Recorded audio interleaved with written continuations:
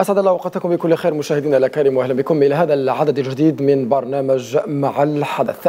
سنتحدث اليوم عن قطاع التربية الوطنية وكذا الاستعداد للدخول المدرسي المقبل.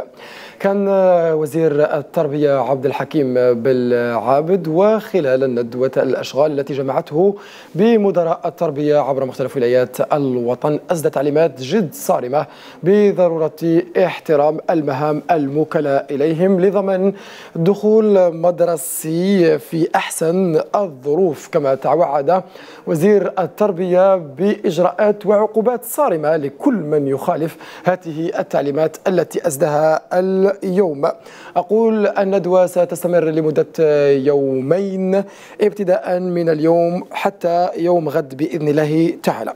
إذا لمناقشة هذا الموضوع يسعدني أن ينضم إلي في البلاطو الأستاذة جميلة خيار رئيسة الفيدرالية الوطنية لجمعية أولياء التلاميذ. مساءك سعيد سيدتي. شكرا على الاستضافة. شكرا جزيلا. ويسعدني أن يلتحق بي في البلاطو الأستاذ مسعود عمراوي نقابي وبرلماني سابق. مساءك سعيد سيدي وينضم إلينا أيضا الأستاذ محمد ينينا مسؤول الإعلام للنقابة الوطنية لمستقلي لموظفي التربية. مساءك سعيد سيدي ومرحبا. مساءك اسعد إن شاء الله شكرا جزيلا وينضم إلينا بعد لحظات الأستاذة فتيحة باشا عضو مكتب الجمعية الوطنية لأولياء التلاميذ وسينضم إلينا أيضا الأستاذ صادق تزيري رئيس الاتحاد الوطني لعمال التكوين وأساتذة التربية. لو نبدأ معك أستاذة جميلة خيار العديد اليوم يتحدث عن مشكل التفويج وصراحة اليوم الوزارة فصلت في هذا الموضوع فهذه السنة راح تكون الأمور عادية جدا. ولكن السؤال الذي يطرح وبإلحاح من العديد من المتتبعين للشأن التربوي أنه في بعض المؤسسات التربوية تقريبا في القسم 50 تلميذ 55 على سبيل المثال مدرسة في درقانة هنا أيضا في الجزائر العاصمة. كيف يمكن للتلميذ أن يستوعب الدرس في هذه العوامل أو في ظل هذه الشروط؟ تفضلي سلمى شكرا على كل حال تبارك الله فيكم. آه شكرا على السؤال لأن لاهتمامكم بالتربية والاهتمام بالطفل المتمدرس حقا حقا آه خدمنا يعني تعاملنا منذ قريب ثلاث سنوات بالاستثنائي لأن كانت الوباء هي اللي هي اللي جبرتنا باش نمشوا بهذه الطريقة. ولكن كلنا نعرفوا باللي البرنامج في القسم يعني ما داش حقه والتلميذ ما داش حقه خاصة الابتدائي. الابتدائي يعني شهادة لله ما داوش حقهم في التعليم والتعلم. كان عندهم 30 دقيقة بعد طلعوها شوية ل 54 45 دقيقة ولكن بقى أن البرنامج يعني التلميذ ما داش حقه في التعليم وحتى الأساتذة يعني كانوا تعبوا بزاف هما أصلا المعلمين كانوا اتصلوا بنا عدة مرات وين يطالبوا باش نشوفوا يعني الحجم الساعي كيفاش ناخذوا بعين الاعتبار باش نقدروا يعني نوفروا لهم ال ال الوقت الكافي باش يقدر يعني الدرس يمضي يجوز كما يباغي والتلميذ يستوعب الدرس تاعو. اذا ولكن الأمور تحتمت علينا والوباء هو اللي حكم علينا وهذه يعني العالم باسره عانى من ذلك. ماشي غير الجزائر. اليوم الحمد لله لما الأمور رجعت إلى مجاريها وتحكمنا في هذا الوباء وتحكمنا في الصحة لأن إحنا كفدراليه وطنيه جمعيه التلاميذ كنا وضعنا في كل اعتبار صحة التلميذ. إحنا كنا نقولوا دائما الصحة أسبق.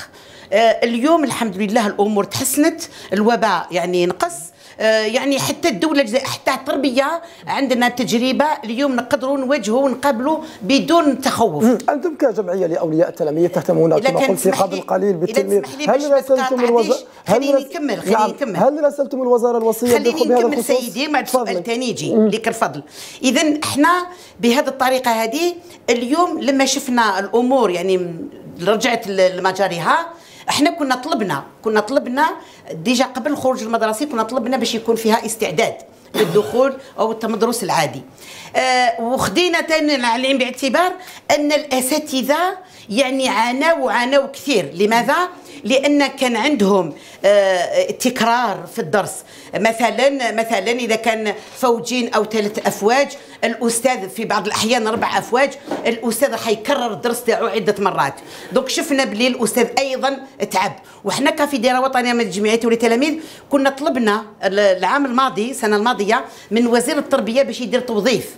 قلنا لابد نخفوا على الأستاذ نروحوا للتوظيف باش نخليو الأستاذ مرتاح لداخل القسم. والتلميذ يقدر يقدر يستوعب. إحنا تمنينا تمنينا لو يعني آه، مشينا بالدراسة بالتفويج وبالنظام العادي. إحنا تمنيناه أن القسم يقعد ب 25 ويكون نظام عادي والأستاذ يكون عادي ويكون الأمور تمشي. ولكن للأسف إلى الأسف الإمكانيات والمنشآت والبنايات يعني ما خلتناش يعني نوصلوا اللي تمنيناه. من المفروض الإصلاح المنظومة التربوية تدينا لهذه الطريقة ان ندخلوا آه، مع les normes internationales اللي القسم يمشي ب 25 26 حتى يعني 28 29 معليش.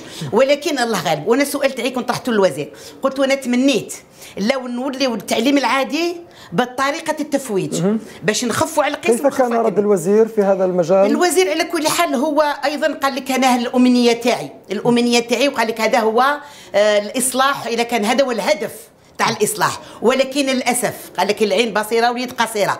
ما دام ما عندناش المنشآت والحمد لله عندنا اولادنا بزاف ورانا أكثر من 11 تلميذ متمدرس وهذا راه شعب.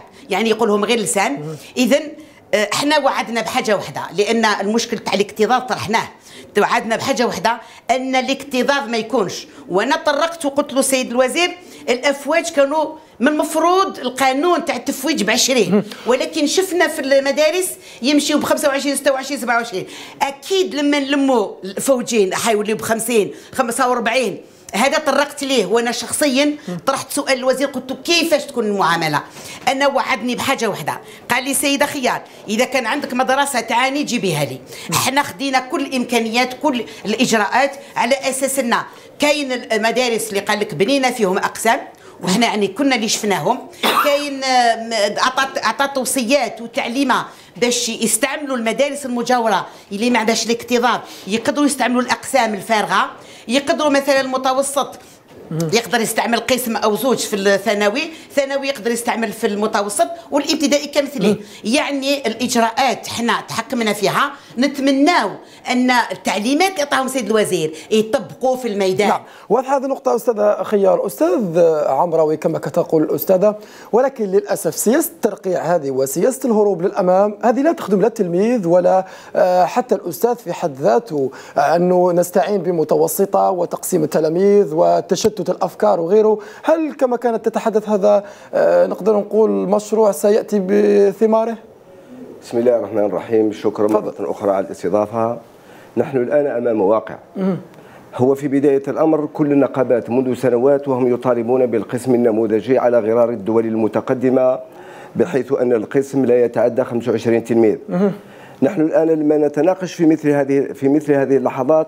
نتكلم عن واقع مفروض علينا. نحن قد خرجنا من أزمة كورونا وأبناء التلاميذ في التعليم الابتدائي متضررون جدا. غير مقبول أنه كان من المفروض أن أن يدرس 25 أو 26 أسبوع في السنة وإذا بنا نجده يدرس 10 ساعات في الأسبوع. فالتلميذ متضرر من الناحية التحصيل العلمي. هذا لا نقاش فيه. نحن الآن نعالج مشكل قائم. يمكن الآن لدينا بعض بعض الحلول. من بين أهم الحلول التي ينبغي أن تضعها وزارة التربية في أولويات اهتماماتها أن التلميذ لم يبقى وقت التفويج. الآن سيدرس دراسة عادية ولكن بالتعليم الابتدائي يوجد لدينا حل وهو نظام الدوامين. غير أن نظام الدوامين يحتاج كذلك إلى أساتذة وتوظيف جديد. أنا أقترح لدينا خريجي المدارس العليا للأساتذة إلى حد الآن لم يجدوا مناصب. لدينا أبناءنا المتخرجين من الجامعة وهم الآن يتقاضون منحة البطالة وماكثين في المنزل. لدينا مستخلفين في سنوات سابقة ومتعاقدين. أعتقد أنه يمكن لوزارة الدولة وهو قرار الدولة الجزائرية خاصة التعليم الذي ينبغي أن نعطيه أهمية بالغة. لا بد أن نقحم هؤلاء الأبناء المتخرجين من الجامعة على الأقل لنسد الضغط لأن الأستاذ أيضا غير ولكن كيف وغير معقول أن أنه يجد أمامه؟ كيف يمكن سيدي أن نقوم بعملية التوظيف والمدارس؟ تقريبا 21 ألف مدرسة على مستوى التراب الوطني ولكن للأسف فيه مدارس أخرى لم تسلم لحد الساعة. أنا قلت لك أن يكون هناك نظام نظام الدوامين. المؤسسة التي تستوعب عشرة أقسام تستوعب 20 المؤسسة التي تستوعب 15 قسم تستوعب 30 ولكن فقط. وهل هذا ناجح؟ نظام نعم الدوامين ناجح. حقيقة نحن في وقت سابق كنا نأمل أن يطبق نظام الدوام الواحد سواء كمطلب لأولياء التلاميذ ومطلب للأساتذة ومطلب للنقابات. ولكن لم نتمكن أن نحقق نظام الدوام الواحد والقسم القسم النموذجي. وبالتالي الآن ما دمنا أمام أمر واقع ومن أجل مصلحة أبنائنا التلاميذ ومن أجل مصلحة المدرسة الجزائرية ما هيش خسارة والدولة نتاعنا خاصة لما أخذت قرار جريء وشجاع بإدماج أبنائنا المتخرجين من الجامعة اللي راهو يتقاضى 13 ألف دينار جزائري في المنزل نتاعو مباشرة نجعلوه بأنه موظف. وفي نفس الوقت من أجل المصلحة نتاع وليداتنا. هذا بالنسبة للتعليم الابتدائي. هذا هو الحل اللي اللي راني أنا شخصيا أقترحه. نذهب إلى التعليم المتوسط الثانوي. التعليم المتوسط الثانوي فعلا يختلف عن التعليم الابتدائي. باعتبار أنه حتى في وقت كورونا لم يكن متضررا مثل التعليم الابتدائي. لأنه تقريب نسبة 80% من البرنامج هضمه التلميذ. والآن نجد مؤسسات تربويه أنا شخصيا زرت بعض المؤسسات في دار البيضاء بعض المؤسسات في في الكاليتوس يعني في الحقيقة هناك ضغط رهيب. وبالتالي مهما استعملنا المكتبات وقد نستعمل أيضا الورشات ولكن يبقى المشكل قائم. أنا أعتقد أن وزارة التربية لها تجربة في هذا المجال. من دون شك أنها قيمت الوضعية من خلال امتحان شهادة البكالوريا وقيمت الوضعية من خلال شهادة التعليم المتوسط. إن كان هذا التفويج غير مضر بأبناء التلاميذ خصوصا إن 80% من الدروس يعني يتبعوها ودرسوها يمكن أن نستمر هذه السنة في نفس العملية ولكن على الدولة الجزائرية في السنة المقبلة. لأن أن تأخذ هذه النقطة بعين الاعتبار. أعتبر أن هذه السنة أيضا استثنائية.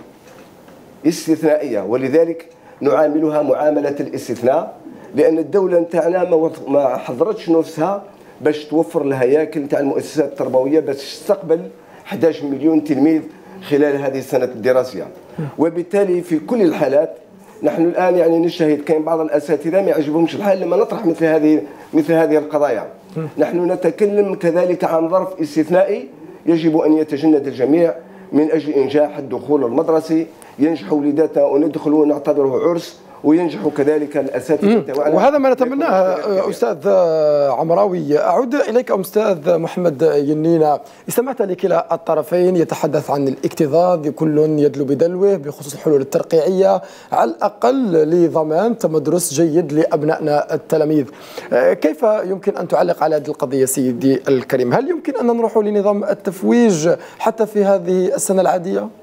أخي الكريم على كل حال قضية قضية شائكة. والحلول الترقيعية هذه لا بد منها. لأننا في ظرف معين. كاين قاعدة يعيطوا تحقيق المناط. تحقيق المناط هو إنزال النص على الواقع. لأن كما نقولوا القانون يختلف حسب الزمان والمكان والحال. دوك هذا هو الموجود. ما هو الحل؟ الحل أن نخرج تدريجيا من هذه الأزمة اللي رانا فيها. وذلك بالإعداد خاصة أن السيد وزير التربية قالنا باللي لأن الطرح تاعنا إحنا كنقابة بقاء طريقة التفويج. إذا أردنا أن نخرج جيلا قويا متمكنا مستوعبا لجميع ما يتلقى لابد أن لا يكون هناك اكتظاظ لا في القسم ولا في المناهج. لأن كاين دراسات علمية قاموا بها خبراء. لقوا باللي الطفل الأوروبي يقرأ الثلث تاع الطفل العربي لكن الكم المعرفي عند الطفل الأوروبي أكثر من الطفل. تاعنا لماذا؟ لأن إحنا نروحوا للهوامش. وكما يقول المثل الجزائري يقول شواري دب يقول لك كم حل خير من شواري دبان. إحنا وقال لنا وزير التربية بالله السيد رئيس الجمهورية أعطى تعليمات صارمة لمناقشة البرامج والمناهج. ماذا بين البرامج والمناهج؟ تعتمد على الكيف للكم. كي تعتمد على الكيف للكم يكون تقليص. وكي يكون تقليص يكون الزمن تاع التفويج كافي لاستيعاب كما نقولوا هذه البرامج وهذه المعلومات ألم يتم مثلا طرح موضوع آه، سؤال موجه لي آه، للجميع على كل حال. ألم يتم طرح موضوع الذهاب الحكومة وعلى رأسهم طبعا وزير التربية باعتباره هو مسؤول القطاع إلى البنايات الجاهزة. وتوفير أماكن أخرى للتلاميذ. دوك ربما أنت كنت تقول باللي الحلول الترقيعية كفانا منها. ولكن البنايات لكن- الجاهزة ليس الشاليهات وإنما على كل حال الدولة الدولة دارت كان هذا العام كاين 85 متوسطة بناتها الدولة وكاين 60 ثانوية وكاين ربما هل تم 200 تسليمها؟ 268 ابتدائية تم تسليمها وهي جاهزة. ويمكن مستقبلا أن نوفر ما يستطيع أبناؤنا من خلالها أن يدرسوا في أريحية. دوك رانا في واقع الاكتضاد أنا قلت لك الطرح تاعنا طرح تاع التفويج علاه والأستاذة طرحت قضايا كما هذه من قبل في قضية مصلحة التلميذ. حنا طرحنا عدة قضايا تاع التلاميذ. حتى وكان النقابه رانا أباء. عندنا أولادنا. طرحنا قضية المحفظة. وطرحت أنا في البجة عندها أكثر من 10 سنوات وطرحتها مع سيادة الوزير. وطرحت له ومن بعد جاب بطرح ربما أفضل من تاعنا فرحبنا به لأن الغرض هو خدمة التلميذ. وخدمه الأبناء تاعنا. إحنا اقترحنا باش تتقسم المحفظة على ثلاثة. وذلك بجعل كتب فصليه وكراريس فصلية. فالوزارة خرجت لنا وذلك ب آه، كما نقولوا تعليمات من رئاسة الجمهورية. كان سيد رئيس الجمهورية من التعليمات صارمة. فيما يخص قضية المحفظة والتخفيف. تخفيف المحفظة لابنائنا حنا شفنا باللي التفويج كآباء قبل ما نكونوا كنقابيين شفنا باللي ولادنا يرتاحوا. شفنا باللي ولادنا يقدروا يديروا الرياضة. شفنا باللي ولادنا يقدروا يروحوا المواعيد الطبية. شفنا باللي ولادنا يقدروا يراجعوا. يعني فهمت؟ يعني هذا الربع فوائد. هذه قاعد تخدم الطفل. قضية الصحة قضية الراحة قضية الترفيه. قضية الاستيعاب هذه كاع كما اليوم كنقابة- حنا كنقابه ربما نقابات واحدة اخرين طرحوا قضية ماذا بين الاستثناء واللي قاعدة ماذا بين المدارس تاعنا الأقسام تاعنا كي نشوفوها نشوفوها أنا 20 و اسمح تفضلي لي سي سيداتي محمد. أنا لما بديت الكلام تاعي قلت تمنينا لو القضية يا المدرسة كيما شفناها في التفويج ب 25 من المفروض 20 ولكن تعاملنا ب 25 نخطي فوا بلوس تقعد يعني هذيك القاعدة والقسم يدور بهذاك العدد تاع التلاميذ. باش نخفوا على الأستاذ يكون مرتاح والتلميذ يستوعب. ولكن قال لك العين بصيرة واليد قصيرة. دوك إلا كان ما عندناش البديل. واش راح نخلي ولادنا ما يقراوش؟ ما نعطيهمش حقهم. أنا أنا نستسمح بعض الأساتذة اللي ربما كيسمعوني ما عجبتهمش وبداو يقولوا كيفاش وعلاش ايتترا أنا نشوف دابور مصلحة التلميذ ومصلحة الأستاذ. أنا لما الأساتذة تاع النقابات أنا شكاولي أنا كفيدراليه وطنية شكاو لنا؟ وقال لك مدام رانا نتعبوا رانا نتكرروا ال- الدوسي تكرر ثلاث خطرات يتكرر أربع خطرات تعبنا بزاف. وطلب لنا العام اللي فات باش يكون توظيف باش نخفوا على الأساتذة. ولكن المشكل مش مشكل غير التربية. مشكل la fonction publique مشكل les postes budgétaires مشكل دوك هذا داخل سفير على عافير ولكن باش نمشوا في المرحلة ونعطيو حق للتلميذ لأن قلت لك صدقني الابتدائي والأساتذة راهم هنا الابتدائي دينا لهم حقهم بزاف. ما ما يعني سنتين ما درسوش. كنا ندخلوهم ونخرجوهم فقط. كلامك جميل جدا جيد سيدة خياري وضيوفي الأكارم ولكن قلت باللي هذا هو الواقع هذا هو الحاضر. كيف يمكن أنه مادام أنتم راكم آه، أدرى بما يحدث في من كولسة داخل وزارة التربية وغيرها وتقولوا باللي هذا هو الحاضر والتنديد والذهاب إلى مدارس نموذجية. هل نقدر نذهب بمدرسة نموذجية؟ هو 50 واحد في القسم. تفضلي باعتبارك أنك أنت. رئيسة فيدرالية التلميذ كفديره وطنية وحنا نتحملوا مسؤوليتنا وحنا قلنا الكلام هذا قلناه للمعنيين بالأمر للمسؤولين تاع البلاد. donc حنا حنا دوك التطور الوقت رانا الزمان خلانا نتماشاو مع الوقت. نتماشاو مع المكان والزمان و- وال- وال- والتكنولوجيا. ما نقدروش نخلي وليدنا مخت... في ال- في en arrière faut qu'il avance l'enfant. معليش حنا نهار اللي قالوا نعموها كنا متخوفين تتعمم وربما حتى المدارس ما تقدرش تست- تستقبل. بالك ربما عندنا مدارس اللي ما نقدروش نديروا فيهم حتى les équipements. بالك ما نقدروش نديروا حتى آه، يعني التحضيرات باش تقدر تستوعب باش تقدر تجيب هذوك les tablettes. ولكن لما شفنا المدرسة النموذجية الأولى اللي مشات وشفنا يعني كيفاش التلاميذ اللي كانت عندهم هذيك آه، هذيك la chance d'avoir ces tablettes qui se sont développés المدرسة الأولى تعبتنا. دوك حنا كأولياء أنا نقول لك صح صح أنا نتمنى المليح لولادي نتمنى الخير لولادي نتمنى لهم الضوء. قال لك ندخلوا في في في النموذجية. قلنا نعم نموذجي ولكن نموذجي على القطر الوطن. في كل م... في كل بلدية لازم تكون فيها مدرسة نموذجية. والحمد لله يعني الدولة الجزائرية قامت بذلك. في كل بلدية مدرسة نموذجية على مستوى 58 آه، ولاية. donc هذا نبداو فيها ما يخفالكش باللي قلت لك سابقا باللي عندنا 11 تلميذ 11 مليون تلميذ متمدرس donc إحنا اليوم الزمان لحقنا وقلنا لابد attention باش ما نتلعبوش بالمصير التلميذ. قلنا ندخلوا les tablettes troisième année سنة الثالثه سنة الرابعة وسنة الخامسة. وتكون المدارس نموذجية على مستوى كل بلدية. والحمد لله إحنا زرناهم. زرنا المدارس النموذجية. زرنا كيفاش داروا ال installation كيفاش كانوا هل المدارس النموذجية هذه هل هي نفسها اللي موجودة هنا في العاصمة؟ كاين في مناطق الظل؟ صدقني غير الامام صدقني. أنا مشيت. أنا مانيش هنا المجاملة.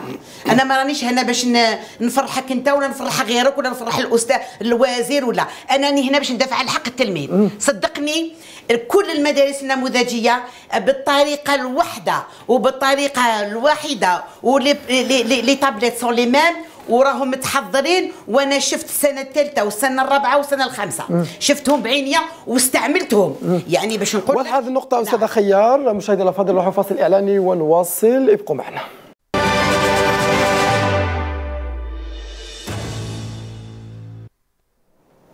عودة إليكم مشاهدينا الأكارم. نرحب بكل من التحق بنا. لحظة في برنامج مع الحدث. نرحب مجددا بضيوفي الأكارم في البلاطو. أعود إليك أستاذ عمراوي. تحدثت أو تحدثت الأستاذة خيار على المدارس النموذجية وقالت لك باللي فيه مدارس في مناطق الظل أحسن من العاصمة. هل توافق هذا الرأي؟ والله نتمنى أن يكون ذلك ولما لا؟ ولكن للأسف واقع الحال الجزائر واسعة وشاسعة نأمل فقط أي مشروع علمي تكنولوجي أن ينجح. وهذه هي الأمنية نتاعنا. إحنا اللي يهمنا ولكن اسمح لي نقاطعكم أنا. كيف يمكن أن نتحدث عن المدارس النموذجية وفي مناطق الظل مثلا في تامنراست في ولاية الجلفة في المناطق اللي أبعد الحدود في النعامة وغيرها. نشوفوا باللي التلاميذ ما فيش كراسي حتى باش يقعدوا.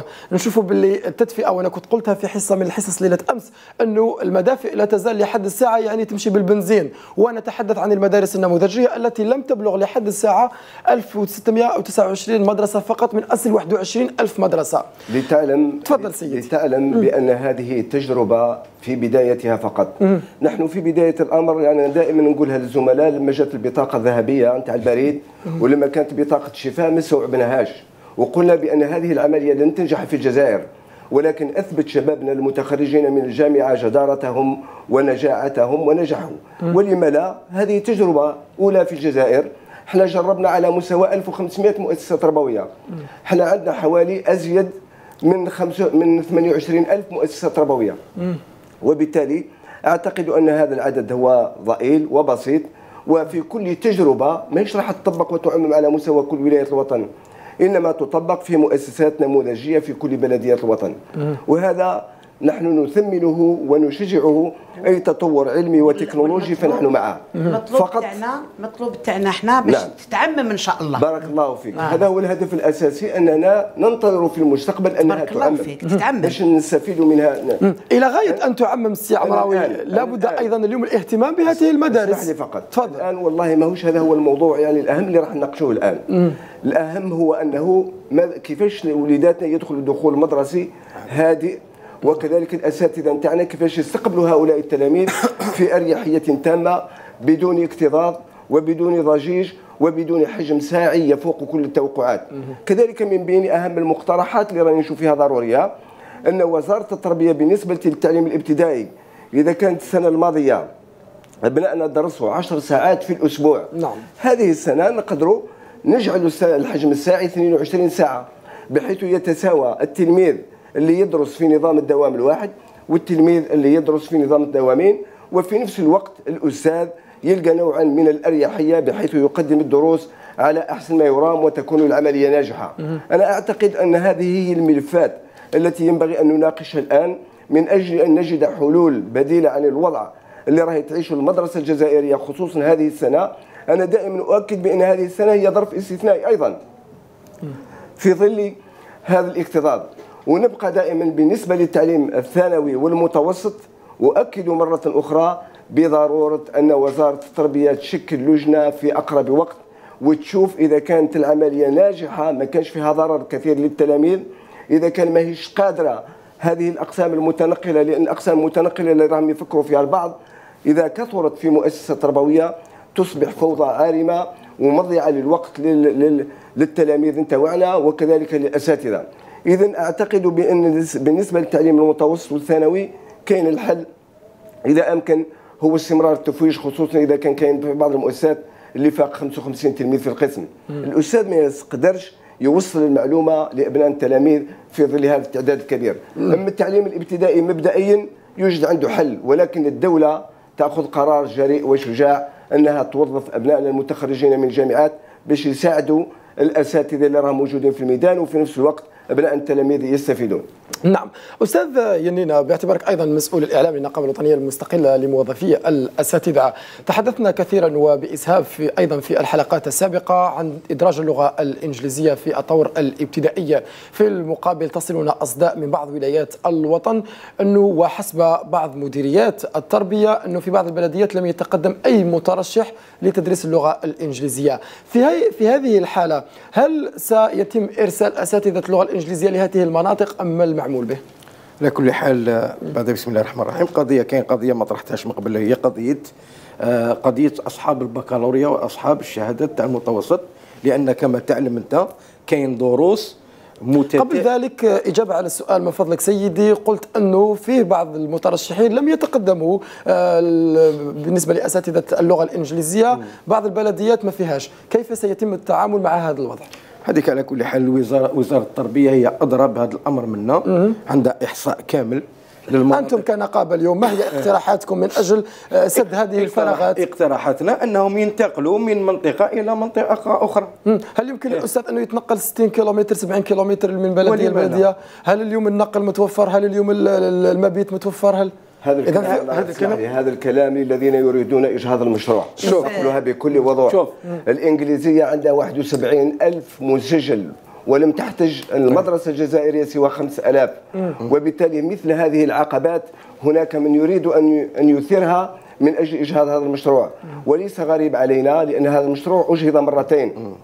أجهض في السبعينات وأجهض في سنة 91 بمؤامرة شهادة البكالوريا للدكتور علي بن محمد والآن هناك من يريد إجهاض هذا المشروع والدولة الجزائرية إذا نستنتج من خلال كلامك أن كل الأمور وكل الظروف مهيئة لتدريس نعم الإنجليزية. بالنسبة للإنجليزية منذ شهور وشهور هناك من يعتقد بأن السيد رئيس الجمهورية لما أقر الإنجليزية يعتبرونه قرارا ارتجاليا وهو له شهور وشهور ونحن في الميدان وقد تابعنا هذا الحدث. أنا شخصيا منذ خمسة أشهر التقيت بمفتش لغة إنجليزية وكنت لا أعلم بأنه ستقحم اللغة الإنجليزية خلال هذه السنة. تجاذبنا أطراف الحديث قال لي أن المناهج والبرامج والكتاب المدرسي راهو جاهز. هو جاهز وتم طباعته ليله امس تفضل. بالنسبة نكمل لك برك الموضوع اللي طرحته على الزميل. إحنا رانا نكملوا بعضنا بعض في بعض. على كل بالنسبة لهؤلاء بعض البلديات وهي نادرة جدا اللي ما قدموش فيها مترشحين باش يسجلوا باش يدرسوا الإنجليزية. البلديات المجاورة إحنا تعودنا على عند أبناء عند أساتذة من مختلف ولايات الوطن راهم في الجنوب الكبير. ماشي البلديات المدارس. نعم المدارس. مدرسة الأستاذ يقدر يدير زوج ثلاث مدارس مجاورة. هذا طبيعي يعني ضروري بحكم الحجم الساعي. الحجم تفضل لا هو الإشكال اللي راهو واقع. حقيقة كلامك صحيح.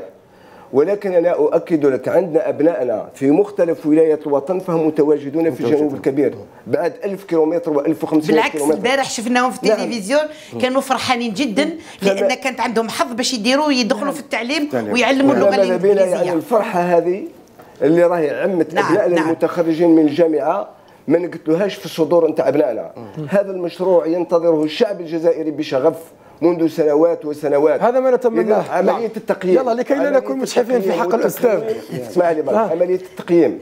والتقويم عندها وقتها. وليس نعم. الآن. يلا نعم. تفضل أستاذ. أنا معك. على كل حال القرار تاع الإنجليزية قرار تاع الرئيس قرار شجاع. وقرار مصلحي. يعني كون نشوفوا دركا للعالم بأسره نشوفوا باللي اللغة الإنجليزية اولا لغة التخاطب ثانيا لغة الاقتصاد ثالثا لغة العلم. لغة علمية. نعم. فمن مصلحة بلادنا ان نحن الفرنسية هذه سبحان الله هي لغة نحترمها كأي اللغات لكن كما من باب احرص على ما ينفعك نجيب اللغة اللي تخدم لي الوطن تاعي إذا القرار تاع الإنجليزية وهضرنا مع سيد وزير التربية وقال كل الإمكانيات وكل الظروف مهيئة. إحنا كنا طارحين إشكالية واحدة أخرى إشكالية الأستاذ التكوين البيداغوجي للأستاذ. كيفية التعامل مع الطفل وكيفية التدرج في إيصال المعلومة إلى الطفل. أما قضية هذه كما نقولوا الأصوات الشاذة والنشيزه هذه اللي ربما كما قال الأستاذ كريم تحب ربما تستغل الحال الحالة الشاذة وتجعل منها وكأنها هي العامة. جاب لي ربي ناس هادو في صدورهم شيء نحو هذا الإصلاح الجريء. وهذا القرار الشجاع من سيد رئيس الجمهورية. لماذا؟ لأن كاين ناس على كل حال عندهم ما يحبوش يجعلوا من المنظومة التربوية منظومة تخضع للتجربة العلمية وتجارب الدول المتقدمة يحبوا يخضعوها للإيديولوجيات تاعهم والتوجهات الإيديولوجية تاعهم. لذلك يعرقلون كل ما هو جديد وكل ما هو نافع خدمة لمصالحهم أو خدمة لمن هم وراء مصالحهم.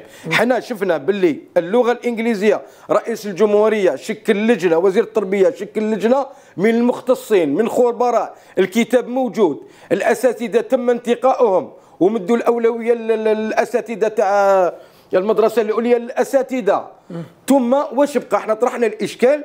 قضية الأستاذ كيفاش كاين إنسان اللي ما عندوش تجربة وعلى بالك باللي أصعب مرحلة هي مرحلة الطفولة. يقدر الأستاذ يعقد التلميذ يريح حياته كاع هكذا كاره للمادة كاره للعلم كاره كذا. شحال من واحد عندنا تجارب في الميدان؟ شحال من تلميذ حبس التعليم على جال ربما تصرف ربما لا تحمد عقباه خلاته يكره ربما القراية ولا يكره المادة. حنا قضية الإنجليزية نتمنوها. ونباركوها ونمشوا موراها للطرف. لماذا؟ لأن فيها مصلحة أبنائنا وفيها مصلحة وطن الوطن تاعنا العزيز. اذا الناس اللي راهي تكسر ولا راهي تهضر منا ومنا ما هي كما نقولوا أم يهضروا. على كل حال بلا معطيات ثانيا ما عندهمش قرام تاع مصلحة لهذا الوطن وإنما يخدمون مآربهم ويخدمون أسيادهم الذين يريدون أن يتحكموا في السيادة الوطنية. يحبوا هما اللي يديروا القرارات من وراء البحار يديروا القرارات تاع الدولة الجزائرية، الدولة الجزائرية دولة مستقلة ماتوا عليها رجال، ماتوا عليها شهداء وماتوا باش الشعب الجزائري يعيش في كرامة. واضح هذه النقطة ضيفي الكريم. واضح هذه النقطة سيدة آه، خيار وزير التربية الوطنية سي بالعابد وأثناء لقائه طبعا مع مختلف النقابات ولا الشريك الاجتماعي ولا حتى مع مدار التربية قال أن هذه الإصلاحات الجديدة ستظهر من خلالها روح الجزائر الجديدة. كيف ذلك؟ هذا كنت طرحها ليه هما النقابات هما النقابات. إحنا إحنا إحنا تلاقينا مع الوزير غد من ذاك بعد ما انعقد المجلس الوزاري مم. اللي رئيس الجمهورية طلب باش تكون تشاور واللقاء مع ممثلي أولياء التلاميذ نعم. وحنا تلاقينا المنظمات الممثل أولياء التلاميذ ثلاث منظمات تلاقينا بسيد الوزير غدوة من ذاك وكان طرح لنا أسئلة طرح لنا بعض الانشغالات مم. وكنا جاوبناه والحمد لله الدولة مشات يعني في في, في, في اتجاه اللي اتخذناه إحنا لماذا؟ لأن كما قال السيد إحنا يهمنا إلا مصلحة التلميذ والمصلحة المدرسة ومصلحه الجزائر. ما عندناش بلاد واحدة أخرى ما عندناش مدرسة واحدة أخرى. والمدرسة العمومية مدرسة تاع المكتسبات اللي اكتسبت بعد ما مات عليها مليون ونص مليون شاهد. دونك إحنا ماذا بينا؟ نحتفظوا عليها. هذو من المكتسبات نحتفظوا عليها وحنا نحيوه من هذا المنبر. وحنا نقولوا كفدرة وطنية وثمنا اللغة الإنجليزية. كما نثمنوا كل اللغات. ماذا قدمتم للتلميذ؟ سيدتي أنتم كفيدراليه ماذا قدمتم للتلميذ؟ واش قدمنا للتلميذ ماذا قدمتم إحنا قدمنا كل اللي قدرنا عليه. إحنا ماناش دولة. إحنا رانا شريك اجتماعي. اسمح لي اسمح لي تحت سؤال نجاوبك تفضلي إحنا إحنا شريك شريك أو ما نقول شريك حليف. لأن الشريك اللي هو يتكلم على مصلحته ومصلحة المدرسة. لأن عنده شهريه إحنا حلفاء إحنا partenaires إحنا بدون مقابل. نسهروا بدون مقابل نخرجوا بدون مقابل. نروحوا الولايات نزوروا الولايات نمشيوا المدارس نعاونوا المحتاجين نعاونوا الفقراء نعاونوا كل حاجة دخلنا فيها بدون مقابل. لله في سبيل الله. إحنا مناضلين. إحنا ما عندناش شهرية. رغم ذلك أنا قلت لك سابقا إحنا دائما نتماشى مع حق التلميذ. إحنا كما قال بومدين الله يرحمه. إحنا مع التلميذ ظالم ومظلوم. إحنا حق التلميذ فقط. عندنا حق التلميذ. لذلك لما طلب رأينا سيد الوزير فيما يخص التفويج قلنا نعم التفويج أعطى ثمر. نعم التفويج خلى التلميذ يستوعب. نعم التفويج ولكن ما عطينالوش حق زماني تاعو. ما عطينالوش. الحجم الساعي ما عطيناهولوش. أنا الطالب تاعي قلت سيد الوزير تمنيت لو يكون تفويج كيما راهو بالتع... بال... بالمعاملة العادية. يعني التلميذ يدرس صباح وعشيه عادي جدا ونعطي له حقه. في التعليم والتعلم. ولكن للأسف أنا قلتها لكم قبل ما ندخل ما نقولش اوناغيير لأن المنشآت اللي كانت المفروض تبنى وتستلمها وزارة التربية هذا زمان طويل ومن بعد جانا الكوفيد وجانا ومشات la vie مشات au ralenti هذا اللي خلى y a un retard dans la réception des infrastructures اليوم رانا نعانيو. نتمنى كما قال السيد نتمناو أن هاد les infrastructures يستلموا في أقرب وقت باش نواجهوا هاد الاكتظاظ لأن قلت لك سابقا عندنا 11 مليون تلميذ. هذه يقولوا غير لسان. راهي الدولة المجاورة فيها 11 نعم. مليون. انت ك... اذا إحنا كفيدرالية. سيدتي أنتم نعم. طولتم كثيرا على رأس هاته أو عمرتم كثيرا لا لا ما طولتش يا أخويا يعزك غلط لا. ما طولتش لا اسمح لي أنا ما طولتش ماذا تغير؟ أنا عندي ماذا أنا عندي عهدة واحدة. نعم ماذا تغير بين الأمس واليوم؟ نعم ماذا نعم. تغير؟ أنا أستاذ دابور اولا ما طولتش أنا أنا لا ماذا تغير؟ لا لا اسمح لي. أنا عندي عهدة واحدة. أنا أنا كنت على المستوى القاعدين مستوى المقاطعة مستوى الولاية اليوم أنا مستوى الوطن. بعد ما مات حاج دلال الله يرحمه. دونك أنا استخلفته عندنا هذا هو العهدة الأولى تاعي. donc أنا مانيش راس الفيدراليه اسمح لي اسمح لي. طرحت سؤال وأنا نجاوبك. لأنه أنت ربما أنا اليوم نقدر نقول لك رافقتي جميع الحقب بخصوص نعم. طبعا التلميذ. لا. ماذا تغيرت المعطيات نعم. اليوم بين الجزائر القديمة والجزائر نعم. الجديدة؟ إن صح التعبير. أنا نقول أنا هل نقول تغيرت اليوم نعم تغيرت المعطيات؟ تغيرت. والأساتذة هذا هو يشهدوا. أنا نجاوبك أنا نجاوبك الاخ الكريم أنا نجاوبك لك الفضل. بين المدرسة تاع الأمس واليوم تغيرت كثير. مم. المدرسة الاستثنائية ما نهضروش عليها. كان الوباء وكان الآخر ومشينا في حالة حالة الله غالب كنا يعني قد درنا اللي قدرنا عليه والحمد لله. الجزائر ما غلقتش البيبان والمدارس كانت والأساتذة عاملوا وخدموا ونشكرهم هذا المنبر وسهروا ورافقوا التلميذ رغم كل المشاكل رغم المشكل الصحي مشكل اقتصادي مشكل ولكن الأساتذة كان كانوا في الميدان ومشاو مع التلميذ والنجاح تاع آه، سنوات تاع تاع الكوفيد اللي التلاميذ لحقوا حتى 21 61% نجاح في البكالوريا السنة الماضية. هذا يرجع الفضل يرجع للأساتذة. اليوم هذه السنة الفضل يرجع للأساتذة. اليوم لحقنا الحمد لله أنا نشهد وشهادة لله. نقول لك أنا ما نخاف حتى واحد غير ربي سبحانه. المدرسة اليوم تحذير دخول المدرسة هذه السنة.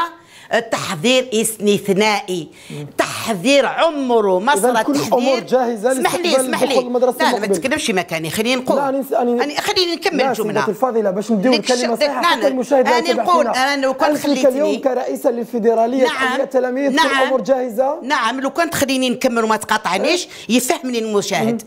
أنا نقول لك هاد السنة لا لا معليش. هاد السنة هاد السنة بالذات سي عمر. هاد السنة بالذات اعطت يعني وزارة التربية أو الدولة الجزائريه أعطت يعني فوق اللازم للمنظومة التربوية. مثلا ثقل المحفظة. ثقل المحفظة إحنا كنا نعاني والأولياء يعانيوا والتلاميذ يعانوا والأساتذة يعانيوا الحمد لله هذه السنة راح تكون فيها اولا عندنا الكتاب الرقمي.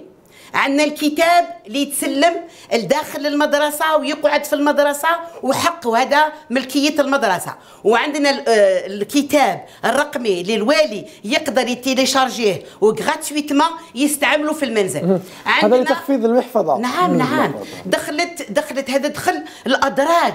الأدراج أنا شفت تعليمة وزارة التربية وتعليمة وزارة الداخلية وين وهل هذا كافي للرقي بالمدرسة الجزائرية؟ لا بيان أستاذ ماشي يبقى النقائص. ولكن كما قال الأستاذ مسعود إحنا تدريجيا إن شاء الله نوصلوا اللي تمنينا نعم وصلت الفكرة سيدة خيار؟ تمنينا الاحسن لاولادنا وصلت الفكرة سيدة خيار. آه، أستاذ عمراوي ما كانت تقول السيده خيار؟ هل فعلا وصلنا اليوم إلى المدرسة النموذجية؟ وبما تقوم به وزارة التربية الوطنية نقول إن مستعدين 100% لاستقبال الموسم الدراسي؟ نحن لا نقول بأننا وصلنا إلى قلناش 100% إلى مدرسة قلت كل الظروف لا قلت لك أول مرة لا اسمح لي. قلت لك أول مرة وين كان ليه اهتمام. آه اهتمام. دولة الدولة الجزائرية ووزارة التربية وإحنا كشركاء اهتمينا بالدخول المدرسي يعطي يعطينا له الوقت التحضيرات الدليل على ذلك تلاقى مع الأولياء نعم، التلاميذ واضحة الفكرة، تلاقى مع واضحة. النقابات واضحة واليوم سيدة. راهو مع التربية. سيدة. المدرسة تفضل. النموذجية لم تصلها كثير من الدول بكل فخر والله واعتزاز العظيم. إيه. بكل فخر واعتزاز أن الدولة الجزائرية ضمنت منصبا لكل طفل بلغ سن التمدرس وهذا قليل من الدول التي وفرت باعتبار أنني كنت في نقابة منتمية لنقابة دولية وقد تساءلنا مع زملائنا في كثير من الدول. نعم. لما نتكلم عن الجزائر التعليم المجاني وحتى الطالب في الجامعة يتقاضى منحة ويدرس مجانا لم يستسيغ ذلك. نحن نقول أن المدرسة في الوقت الحالي في عهد السيد وزير التربية الحالي هناك قرارات جريئة وشجاعة يجب علينا أن نثمنها. قضية الإنجليزية كانت حلما بعيدا وأصبحت أمرا واقعا. قضية تخفيف المحفظة قضية الكتاب المرقمن قضية تخفيف المحفظة البلديات التي واللغة الإنجليزية قرار رئيس نعم، الجمهورية. نعم. قرار نعم. سيادي وليس قرار وزير رئيس التربية. الجمهورية والدولة الجزائرية بكل فخر واعتزاز. نعم لا أحد ينكر ذلك. المهم نحن نشيد بكل شيء إيجابي تقوم به الدولة نتاعنا. إذا في النقائص- تقدم في تقدم سي عمراوي في نعم تقدم بين هناك المدرسة في نقاط السابق والآن إيجابية. نعم هناك نقاط إيجابية يجب أن تثمن. نحن قضينا ثلاث سنوات في ظرف كورونا استثناء العالم كامل يعاني منه. وبالتالي باش نخرج مباشرة ونتوقع بأن العملية تكون ناجحة 100% في المئة أعتقد أن هذا غير منطقي وغير مقبول. في ظل هذه المعطيات في ظل هذه المعطيات المعطيات. مستقبل أفضل استسمعوا. المدرسة الجزائرية؟ نعم في ظل هذه المعطيات يكفينا أن الدولة الجزائريه يكفينا أن الطفل الجزائري يدخل في يوم واحد. وأعتقد أن وزارة التربية لقد أعدت نفسها إعدادا جيدا في ه- في هذا في هذا العمل. نحن نتناقش نعم في قضية الاكتظاظ موجود لا أحد ينكر.